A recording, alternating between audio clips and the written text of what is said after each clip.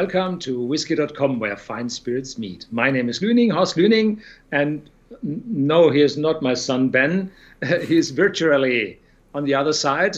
Uh, I'm not in the office, I'm in Berlin. I have something uh, to do here, and so I have to be transferred from Berlin to our company and from there to YouTube and then all around to you in the world. Yes, uh, hello and welcome from me as well. And today we are talking about the lowlands. And um, we have a number of lowlands distillery here in front of us. And if you keep uh, track of our channel or if you visit whisky.com slash live, you always see that there are a lot of tastings coming up. And um, we announced these tastings beforehand, so maybe you have the chance to get one of these bottles where you live, and it's always much more fun if you try these bottles while you watch the video with us and you have the whiskey with us. So um, hello to the chat. Is I haven't seen anybody in the chat yet. Is the chat uh, the right one? Yes, probably. Uh, oh yeah, great to be here with you, Ben and Horst. Yeah, great to be with you as well. Uh, yeah, so um, we're having three distilleries. The Glasgow 1770 is a very, very young distillery or a very, very old distillery, depends on how you look at it. And then we have the Auchentoshan, the well-known whiskey for their triple distillation. And in the end, we have the Bladnoch, which is uh, also a very young one but also has a bit of heritage. And this whiskey is not from their recent opening, but uh, from the time before. And yeah, since 2019, the Bladnoch distillery is now visit visitable and uh, they have now a visitor center. But unfortunately, due to the virus, there have not been many people visiting uh, the distillery. So I did, uh, or we thought a little bit about the sequence. We will have these whiskies um, today.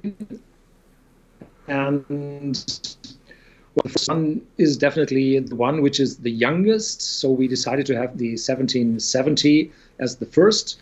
And then we weren't quite sure should we take the Auchentoshan uh, three wood as the second or the Bladnoch Samsara as the second and uh, well, because the Auchentoshan has so many casks in which it matures, um, but it's uh, triple distilled. We come to that later. And uh, this leads to a smoother alcohol. So we decided to have that second. And it's 43% ABV.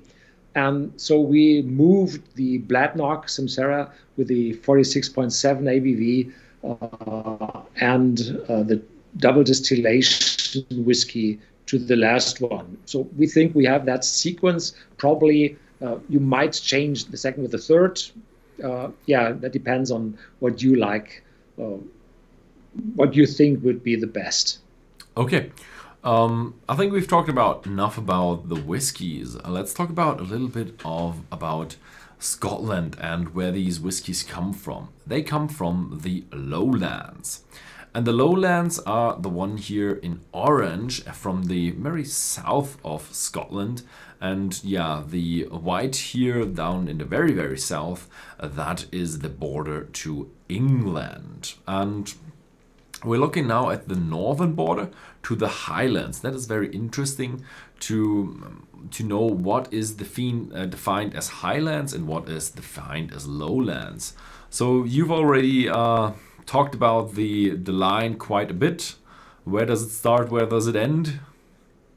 Yeah, uh, the line is typically said to be a line between uh, Greenock, that is on the southern shore of the Clyde, which is uh, the saltwater lock moving uh, into Glasgow, uh, and there's some some tens of miles to the west of Glasgow. That's the starting point, and then we're moving up to the northeast to Dundee, which is on this uh, uh, map visible. They're just at the border between the orange and the red one, uh, red area. Uh, and that is typically said to be uh, the border between lowlands and highlands, but it's not a straight line. it's a spline. It's it's not a, a, a straight. So, uh, well, there is some history behind that, and I think you have a little bit more of background information. Yes, uh, because that is now the geographic definition of lowlands. But uh, back in the days, it was much more, yeah, interesting to uh, because uh, lowlands and highlands had different legislation. Something that is unthinkable today. That we have some parts of the country that are allowed to do something, and some parts are not. Um, in the lowlands, it was legal to distill whiskey, and in the highlands, it wasn't. But the lowlands and highlands were not the lowlands and highlands nowadays geographically, but the taxation um, region was different from the geographical one. And here we see the taxation region of the lowlands and it goes far, far up north to the north coast of the Speyside. So um, it was actually allowed to distill there because the taxmen had a ship and they shipped, they sailed up uh, the coast and then they landed there and collected the taxes. But they couldn't go in too far to the inlands, so it was unable. To, yeah, it was just too high and too um, hilly and everything. So that's where they defined as the highlands, and you didn't uh, pay any taxes there. So uh, for alcoholic distillation. And so you actually weren't allowed to distill at all. But that had yeah a lot of implications because people were just fed up with it and just distilled anyways. And so they were smuggling it in barrels and little casks and quarter casks and everything. And over the years in the lowlands the technology rose and production rose a lot you have something about the Coffey still there yeah, so uh, it wasn't allowed in the highlands because there wasn't a, a train running there. So it was just by carriage and, and steep or, or mule. So it wasn't very feasible to collect taxes up there. So it was only allowed in the lowlands. And sorry about the picture going out now. Uh, it's my camera, which isn't able to uh, hold through that long. And uh, so it was only allowed in the lowlands, and there uh, people made some in, in innovations. Uh, there was a guy called Aeneas Coffey, and he invented the Coffey still. And the Coffey still uh, is a, a, continuous still. And this continuous still uh, was able to produce a lot of alcohol, but a, a minor alcohol. And they increased production, increased production that went down in quality. So it was lowland and bad whiskey. Yeah. And then the king, I think Edward the something, do not remember very well. Uh, he when he came to Edinburgh from from London to Edinburgh, he said, "Bring me one of the good stuff from the Highlands." So the king himself was illegal, but who cares? He's the king. And uh, then he said in 1823, well, fed up, just enough. Uh, now distilling the highlands is legal.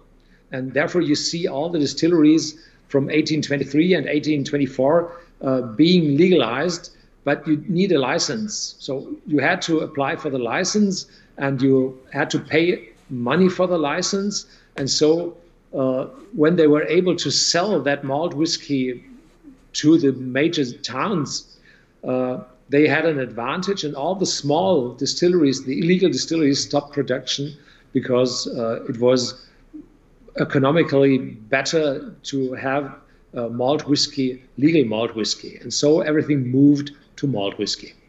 Yeah. And also, what uh, was more problematic was the lowland whiskey uh, was still considered less good than the Highland whiskey, so all the lowland whiskey went downhill, and a lot of distillery closed, and even later they closed. So there were not many distilleries left in the lowlands. So there are, if you look at a map where all the distilleries lie, they all lie in the highlands and not in the lowlands. And yeah, So nowadays we only have a handful of distilleries left, and we're looking at these distilleries today.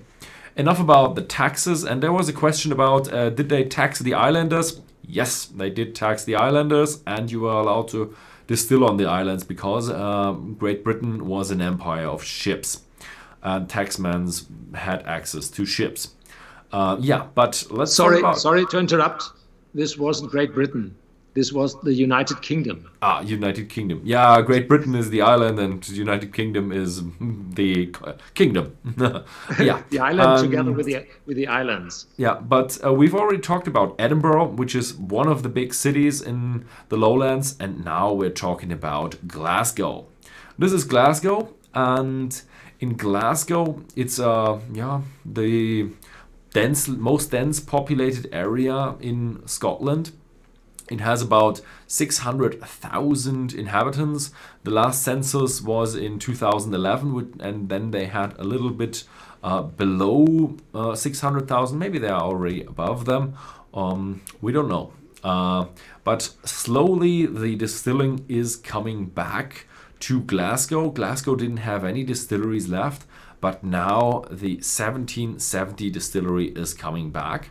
They opened in uh, 2014, and um, yeah, the distillery was the first distillery to be founded since 1902.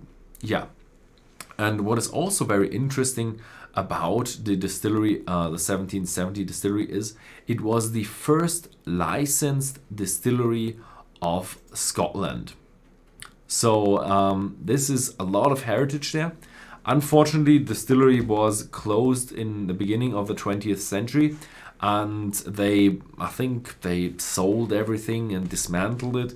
So there was not really much left and they built in brand new stills and yeah. They're still playing a little bit with the heritage although it probably doesn't have much to do with the old distillery back in the uh, from the 1770 distillery um, yeah, so this is the distillery. And now let's have a look at what we have in yeah the whiskey. Yeah, the first whiskey is the 1770 Fresh and Fruity. And this is uh, sold in a 0.5 liter bottle, so a little bit smaller than the typical 0.7 or 0.75 in the US.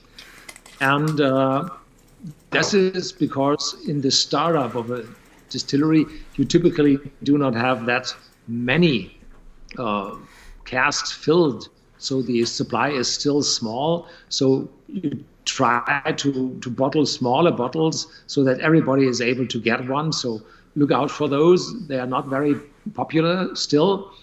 And uh, it's a whiskey matured and then finished in an ex bourbon barrel.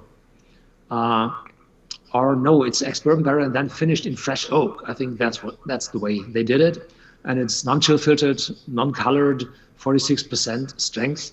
So is that everything uh, a good whiskey should have? Mm-hmm. Mm-hmm.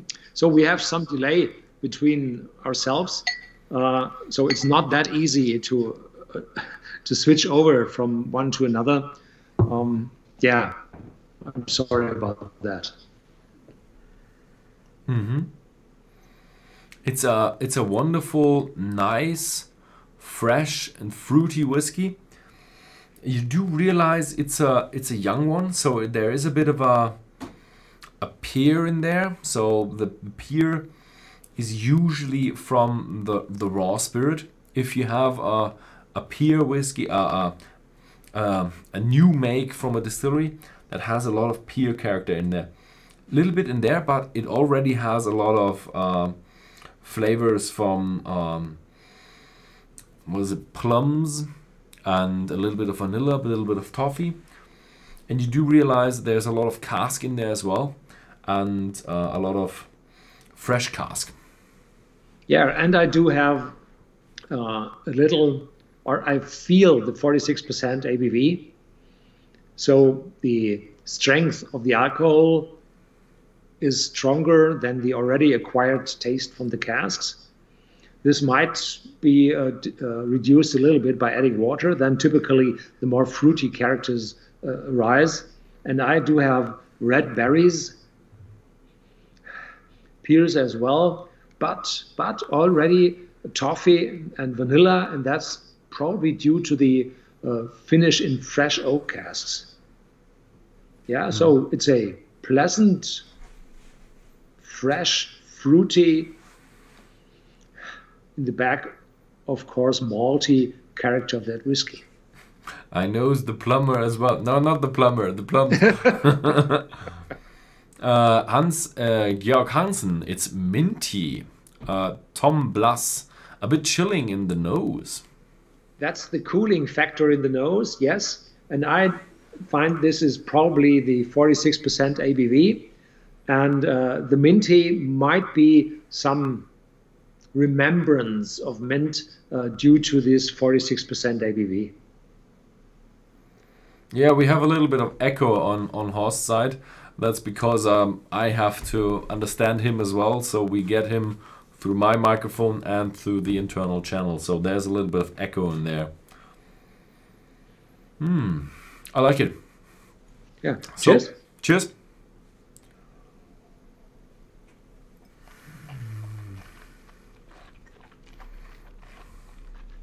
Hmm.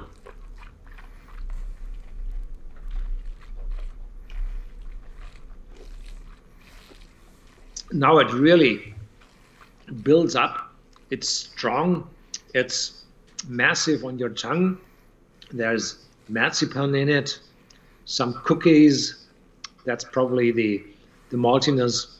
Some honeycomb. Yeah, some honey sweetness probably. Mm. Mm. Mm it's really full flavored and quite has some kick to it. Okay, it has 46% ABV. It's very sweet and very fresh fruity, even a little bit tropical fruity. In the German stream, we had someone who said, "Yeah, passion fruit." I I more with the grapes and a little bit of honey and a little bit of Maybe, what is that? Maybe a little bit of honey melon? Hmm.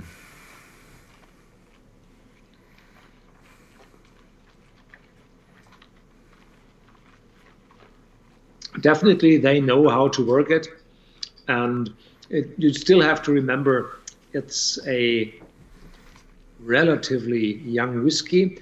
I don't know if it's already from the vintage 2014 or 2015. So there is no metallic youthness in that. There's probably a little bit of uh, more distillery character than the cask character in it. Uh, so it, it shows it's a little bit younger, uh, but it shows already very good uh, potential. Yep. What will come next? We have uh, Tom Blas, a bit like pear and apple calvados over fresh waffles. Mm, yeah. Uh, Georg Hansen, raisins, a bit of clover. Mm, okay, you have a bit of a stronger impression there than I do. Mm-hmm.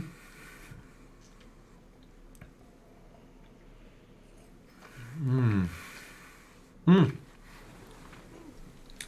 I think, yeah, it's over the edge of being uh, a very young whiskey. It's still a, a young whiskey, but it's uh, it's um, enough matured young whiskey with fresh yeah fruity tones yeah they call it fresh and fruity you're getting influenced by the, the marketing slogan there but i like it it's a it's a wonderful starter i'm really excited about what they will bring out in let's say 2024 or 2025 how is a 10 year old expression from that distillery? Mm. i'm really really excited about that. Yeah. That's that's a bit of a summer whiskey yeah. And we're now going into autumn so mm, maybe that. Um anyways um let's talk about more of the lowlands as the topic for today and uh, the lowlands is always said to have triple distillation. So anything about you comments from you there? Yeah, Lowlands so- triple distillation. So triple distillation was necessary in former times because you fired the stills by either coal or peat, open fire, and uh, that wasn't that easy. So temperatures weren't that stable, and you had to distill better. And what's better than twice distillation, triple distillation? But uh, if I'm looking into the islands, then I see more distilleries in the islands with triple distillation than in the lowlands with triple distillation. In the moment, I remember three, maximum four uh, distilleries in the lowlands which have triple distillation. Yeah. Hmm. but how many distills are there? Uh, still, dis- distilleries are there in the uh, lowlands? There are only a yeah, handful of them. So There are a lot of new ones built, but Yeah. a lot of them aren't ready to to bottle whiskey at all. So they're just up in the starting. Uh, and others build double distillation because probably it's cheaper, and only a very very few keep that old triple distillation scheme. Okay, so let me talk you about into triple distillation. Some of you who have seen distillery videos of mine have already seen a lot of double distillation. I've covered about a few of them who have triple distillation. Um, most of them were like half triple distillations and where some of it was double distilled, some of it was triple distilled. Here at Auchentoshan, everything is triple distilled. And it's it starts as a beer, as the wash, and that comes into the wash still on the very, very right side of this picture. And is yeah distilled very rapidly as every wash still is doing the same. So it's nothing strange about this wash still. It comes off with about 20% ABV and uh, the rest that is still water uh, that is the pot ale that is being yeah uh, uh, pumped out at the bottom and then it enters the intermediate still and the intermediate still is already a spirit still. So you already divide between the uh, foreshots, the hearts, and the feints.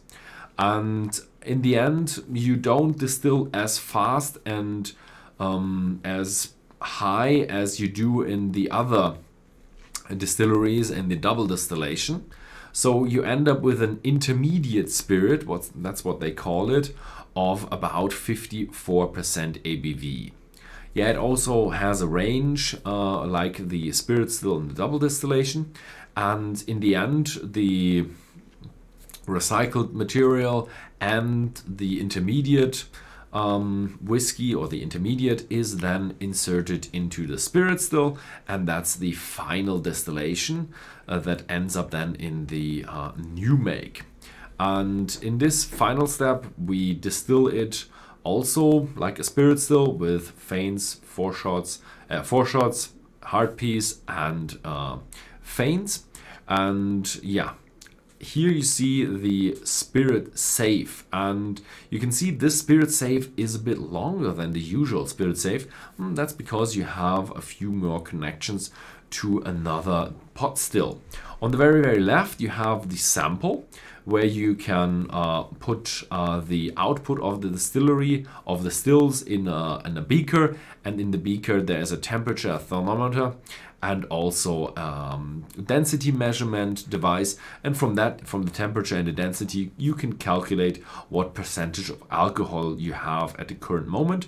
And from there you can tell where you put the cuts of the hearts the foreshots and the feints in the second uh, compartment where you read intermediate distillate is what comes out of the intermediate still and there you can switch between uh, three glass bowls at the bottom and these three glass bowls end up in the tanks for the foreshots, the hearts and the feints.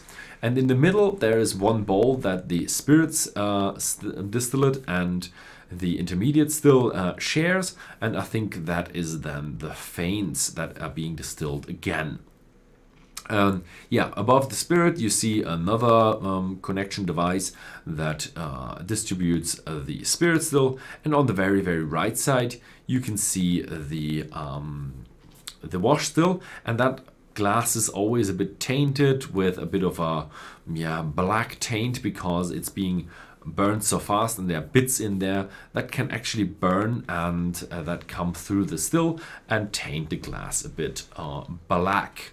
Nonetheless, uh, it doesn't really matter. What you want to see there is that it flows, that the spirit still is working. If it doesn't flow, you might have some blockage anywhere and that might build up some pressure and that might become really dangerous.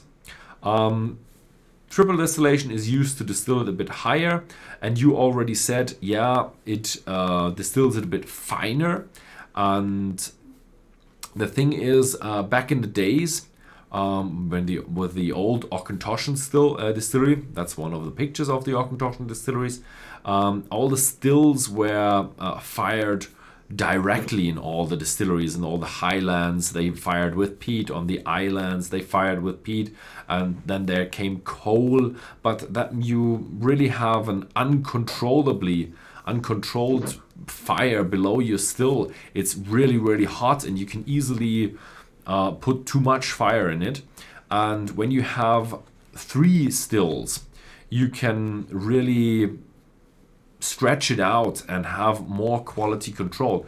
And that means back in the days when you had direct firing, you triple distillation was kind of the only way to get a finer spirit. So you had a lot of lot of rough whiskies back in the days, and the triple distilled whiskies they were the ones that were the exception and were smoother and finer distilled and weren't that rough around the edges. Um, yeah, let's try about what a modern triple distilled whiskey can do, and that's the Auchentoshan three wood here. So, in the meantime, my accumulator in the camera uh, works a little bit again. I hope that I'm able uh, to do that. Uh, come through until you bring the next.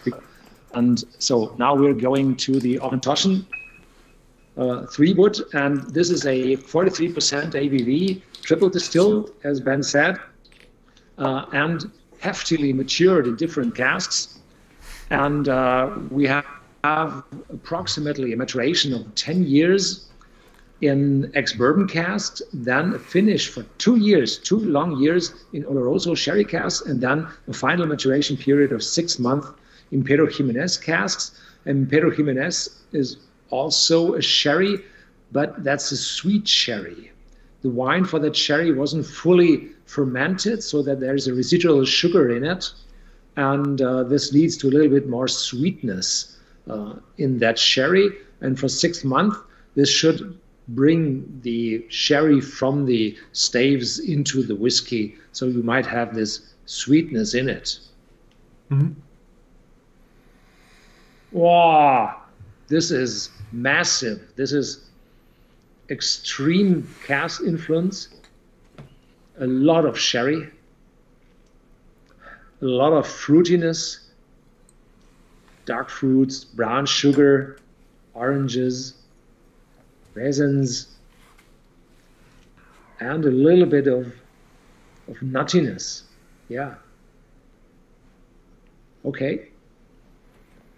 Yeah, the the smell is really really sweet.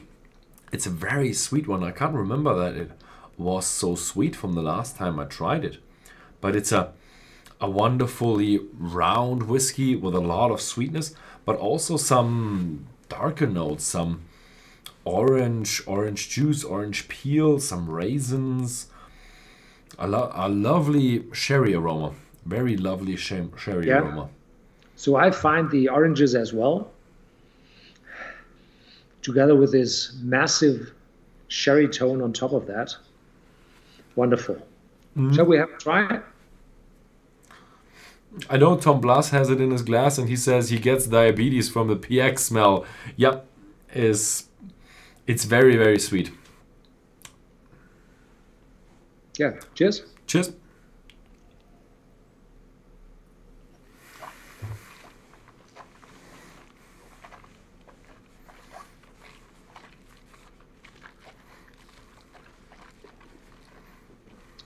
yeah, now the orange character is much more in the front. The hazelnuts, the nuttiness from the sherry cask is there. The alcohol is very, very smooth, like a like a really old one. So if you distill very high to high ABVs, then this uh, typical uh, oiliness is going away. You have a much lighter, uh, more natural or yeah alcohol, and that leads uh, to a smoother feeling in your mouth. So you feel those sherry casks a lot stronger than with other uh, whiskeys. The oranges is what is left over from the distillery character. Yeah. Mm. Mm. Mm. It's very, very in, intense. It has a, a lot of sweetness, a lot of nuts, a lot of fruits in it, a lot of sherry character. Mm, I really love it. And it's wonderfully smooth.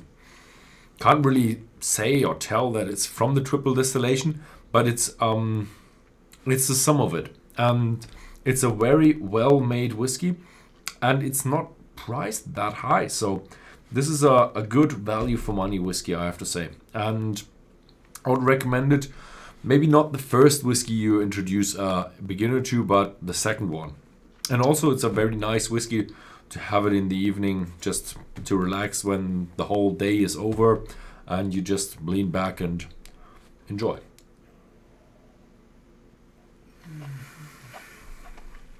Mmm. Mmm. Mm-hmm. Mm-hmm. Mm-hmm. Mm. Oh yeah. There's yeah. now we have in the chat. some grams, some sipping uh, in it, in us. Uh, so the taste is really building up. You feel the casks in the aftertaste. Mm-hmm it's not staying that long. If you have a few sips, it's staying a little bit longer, but um, it's it's um yeah maybe it's a medium finish. But um, I want to continue about a bit more about the journey through um, the lowlands and. We have already talked about the taxes in the lowlands, we've talked about the city in the lowlands, or the cities, Edinburgh and Glasgow and we've talked about the desolation, and now let's talk about the countryside. And yeah, the, the barley that is grown for the whiskey is mostly grown in the lowlands. And yeah, the big maltings are also in the lowlands. Crisp maltings, Braid maltings, Pencaitland, Pencaitland, southeast of Edinburgh. So these are the big maltings and they do get the the barley and they bring out the malt for the beer and for the whiskey. And just to give you a feeling of how much uh, barley is grown in Scotland, in 2014 it was um, 2 million tons of barley. That is 10 times the amount that was grown in 2014. But still, there's a, a lot of whiskey being made in uh, in Scotland, and they still need a lot of imports from Germany, uh, the Czech Republic, or other Euro uh, Eastern European states, as barley is grown there really, really well. And also, north of Dundee, just north of Dundee, are also two big uh, maltings. And if you remember from the beginning, yeah, that is now regionally seen as the highlands. But back in the days, uh, taxation wide, it was the lowlands, so that's where they did the maltings. But also, very, very back in the days, all the distilleries did their own maltings. But yeah, the maltings are very, very close to the lowlands or lie within the lowlands. Now, to give you a, a little bit of an estimation, 75% uh, of Scotland is being farmed. 75% uh, of a country being farmed is quite a lot. But uh, you think about where do they do the farming? They, they have the highlands. What is there not just a Highlander going through with this sword and, and that's it? No, uh, 50% is being used uh, for farming with uh, sheep and cattle. So, uh, and the other, and 25% of Scotland is uh, for growing wheat or other grains. So, yeah, we've talked about a lot about the barley and the grains. And let's talk about a bit about the yeah the cattle and the sheep. And this is the first uh, inhabitant of the highlands, uh, the Highland cattle, a very long-haired cow, and they really look really really nice because they have so much hair growing into their eyes, and they look a bit like yeah like a emo. yeah, to, to to give you uh, some hints about that uh, we have friends in Lower Bavaria, and they have a herd of, of cows and, and a bull. And they are looking so friendly and, and so huggy. But that bull, he's four times the size of this cow, and he's really strong and he does not like people. so don't go too close to those Highland cattle they yeah. might be dangerous. Yeah, and if you look at the horns, um, they do look really dangerous. And uh, yeah, be aware of cows. Cows are cows are really heavy, and if they want to play with you, then you get the short end of the stick. And yeah, but the next animal is also really, really famous for Scotland. It's the Linton, or here you see the Lintons and they're also known as the blackface sheep. Yeah, so they're really iconic, and I think they are, mm, yeah, they are known for Scotland, and they go all over the Highlands. And the sheep is a um, animal that can survive the very very cold winters that you have in the Highlands.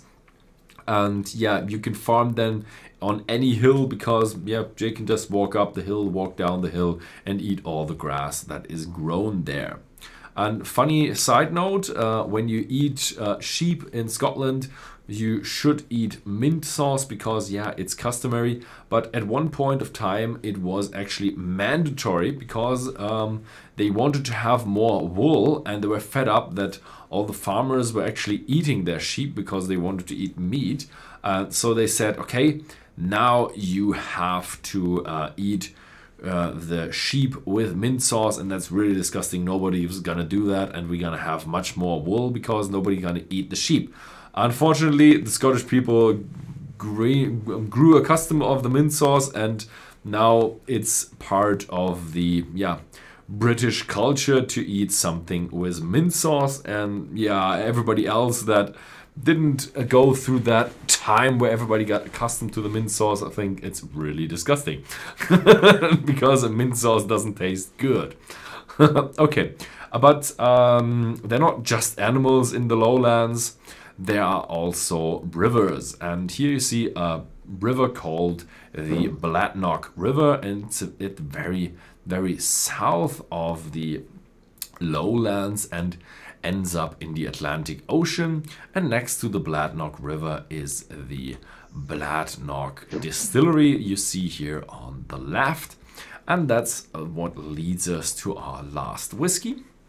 Bladnoch was uh, founded in 1817. It was closed many times, opened many times, and also it got new stills. Um, the production was continued until 2009 and the distillery was uh, in silent mode until 2011 when it was then mothballed. So it was completely shut down. When was this picture taken? Um, this, I think, was taken in 1995 uh, when oh. I first visited Bladnoch. And there they were in a, in a shutdown prior to a mothballing period. Uh, the stills look really bright and shiny. Have a look at this reflux bowl and the junction to the pot still below. We will see that on the next picture that that changed a little bit. And look at the lyne arm going downward and have that uh, condenser on the left hand side. Mm -hmm. So yeah, And what they did is uh, they opened it, they closed it, and in 2017 they reopened it again, started production, but they actually changed the stills. And they now have four stills. They have a bit of a different shape, and also they changed the style of the distillery. In the back in the days, Bladnoch wasn't said to be the um, the Islay of the lowlands, so said to be rough and yeah, a strong uh, distillery character. And now they want to go a bit more into the easy style of the lowlands. And what they did is they actually got someone who is really experienced and they got Dr. Nick Savage. If you keep close attention to this channel here, um, I've already interviewed Dr. Nick Savage at Macallan. Yes, he was the former guy at Macallan for the cask selection, and now he is their master distiller of Bladnoch. Yeah, probably I may add a little bit to that to the uh form of the stills. Uh, the spirit stills are in the back. You see the slightly bigger, bigger formed reflux bowls, and then this uh, cylindrical uh, intermediate to the pot. So it might be a little bit uh, more reflux in that. And have a look at the lyne arm. It's not uh, falling down, but goes over evenly horizontally. So it's not the way that in the moment when the alcoholic vapor rises over the top, then they fall immediately down and will lead to this strong, intense flavor. Uh, but now uh, they have the chance to go back to the stills and have uh, well uh, being redistilled more so the alcohol uh, coming out of that still is even a little bit uh, lighter and will remember a little bit more to the normal triple distilled, lowland style even when it's a double distillation mm-hmm. so um what we're having now is uh, the Bladnoch Samsara. Um, the Samsara, if you you've already had it, um, is actually a whiskey that was for before 2017, and um, 2017 was a time when they filled their first casks. Um, yeah, the Samsara is uh, a mixture between bourbon and Californian red wine cask that sounds really, really interesting. Because you usually you have French wine or some sweet wine or strong wine, fortified wines every corner, but I've never heard anybody with Californian wine. Yeah, I would have suggested that they use uh, Australian wine because the proprietor now of Bladnoch is an Australian entrepreneur and he invested that lot of money into the new distillation and the distillery. And uh, so bringing over casks from California with these uh, heavy wines uh, isn't a, that bad idea. So you have American white oak, which is quite pleasant to your tongue, and you have this intense uh, red wine. So mm-hmm doing a finishing in that uh, intense wine casks might not be that bad. I had that Samsara already two years ago or one and a half years ago. And uh, be careful, uh, you can't compare that first video I took with this smell we now find in it because uh, they have batches from year to year. Um, which they feel they do not have that many casks, only a few thousand of them. So the the warehouse isn't that full, so they have to to start carefully. And uh, next year, the 10-year-old Bladnoch will be out, so they have to move to the 11-year-old, and there the casks are even rarer. So look out for those bottles if you like to have one. Uh, there might be some years where the amount of whiskies might be not that high in volume. Mm-hmm. Oh, yeah. So this is a concentrated, full, fruity, with an orange note, not that juice orange, but orange blooms. Probably a little bit to the bergamot oil. Concentrated. Did I say that? Yes. Fruitiness, vanilla, and plums. Yeah, plums. Mm-hmm. It's very fruity and juicy, I have to say. Yeah, it's juicy and sweet, but a little bit vanilla, and it's it's a, a very big fruit basket with a lot of complexity. And I'd really like to know how old this is, but uh, if you look at when they produced, it must be at least a 10 year old. Yes, I think so. Mm. Yeah. Hmm. Tom Blas, Blood Orange. Yeah, definitely. Physalis, Stewed Fruit, Massive. Yeah, definitely. There's maltiness in it as well, but in the back. Yeah, and let's have a try. Cheers.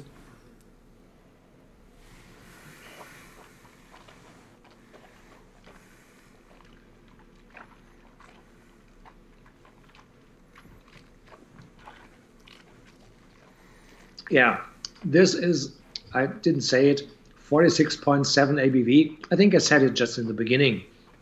Uh, unchill filtered, uncolored, a massive one.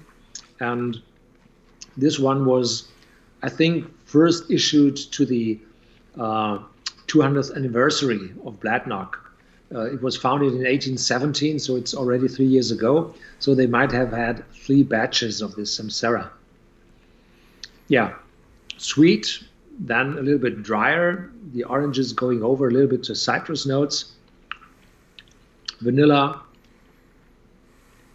Yeah, wonderfully done on the old pot stills you've seen the first picture. Mm-hmm. Mm. A lovely whiskey. Definitely the the strongest today, and definitely the heaviest today. But it have a, has a, a lovely mixture of uh, juiciness, that blood orange, a little bit of orange, yeah, orange juice, blood orange, uh, combined with a few grapes, mm, combined with a little bit of oak as well. Now that it comes into the finish, there's even more oak, but it's not one of these European spicy oaks, but uh, um, mixture between the wine flavors and uh, a pleasant American oak, I would say. Hmm. Hmm.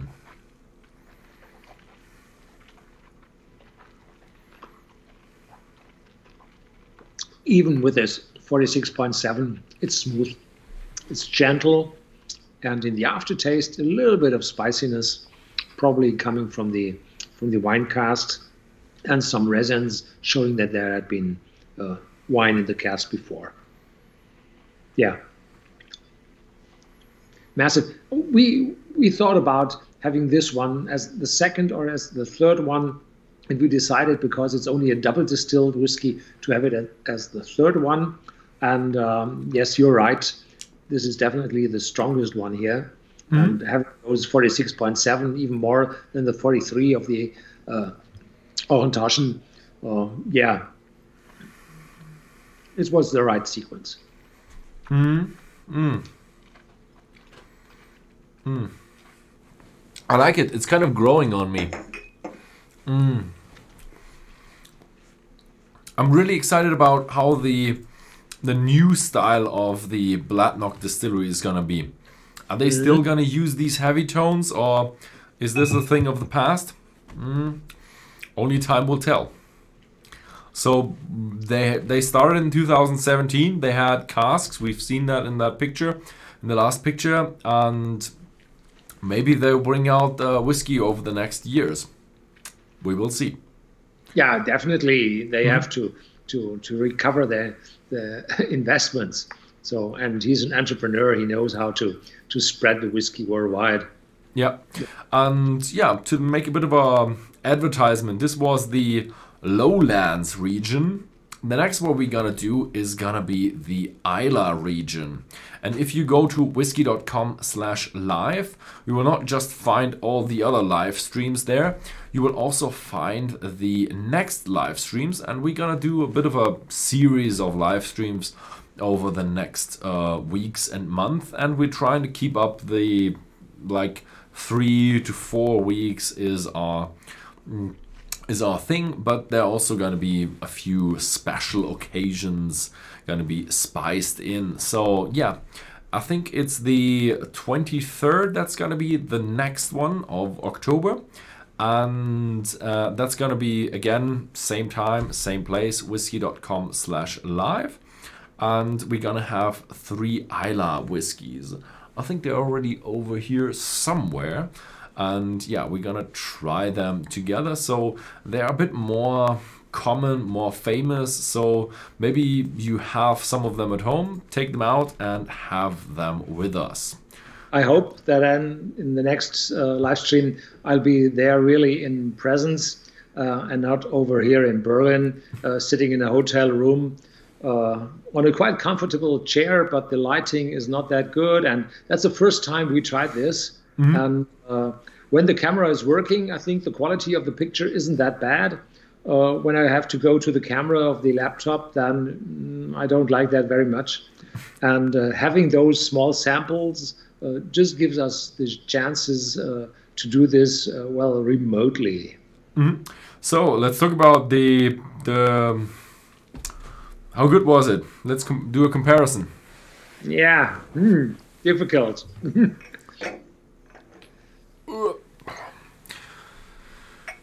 For me, didn't change anything about what I've tried in the first take, so I'm still going with uh, Auchentoshan 3 wood, also number 2, then the Bladnoch Samsara, number 3, and the Glasgow. So for me, I thought first the Auchentoshan would be my favorite as well, because I know that whiskey for a long, long time, but uh, mm, well, this time it's the Bladnoch mm-hmm. uh, because this California wine cask gives some kick and the higher ABV. Uh, well, that gives some impression, uh, which is a little bit more, well, say Highland style uh, in this case. And uh, so I say three, two, and one. The 1770 uh, Glasgow is a good one, shows potential, uh, but a little bit too young, does not have enough, or say, uh, this big cask influence we're typically used by uh, single malt whiskies. Uh, it's fresh and fruity, but I would like to have a little bit more of a cask in it. So mm-hmm. if they decide to have a finishing in sherry, port, wine cask, whatever they have, and bring out that when the whiskey is still younger, then it would be a burner. yeah. So for you, it's three, two, one. Yeah. Yeah. Uh, two guys agreeing with you in the chat. I just, I just love how, how well rounded and how well um, made the Auchentoshan was. But the Samsara is also a really good whiskey, but yeah, a bit, bit hefty, bit strong. If you're in the mood for it, might be my favorite as well. Mm, okay, so I think that's it for this stream today. Um, keep being posted, and the 23rd of October is our next date. So um, if you like this video, then please feel free to give it a thumbs up. And do you have anything else? Yeah. Uh, where are the people able to find the whiskies we're tasting in the next live stream? It's on whisky.com slash live. There's everything written down there. Okay, so that they are able to to get those uh, bottles. Yeah, and they are this this uh, next ones are pretty common. So I've seen there are already a few Islay lovers in here, so they might uh, get these whiskies. Yeah. So yeah, thank you very much for watching, and see you next time.